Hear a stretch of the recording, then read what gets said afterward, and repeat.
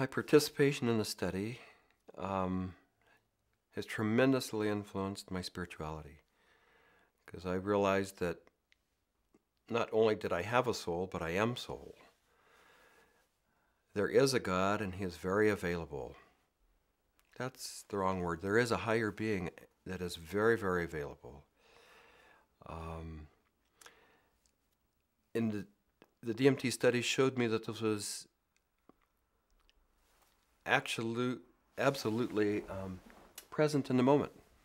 But how to get there through DMT can be very frightening and disorienting, and it can be a challenge. And it showed me to look for a spiritual path where I could fill in all the dots, something that I could actually work on in my daily life to get there without using DMT.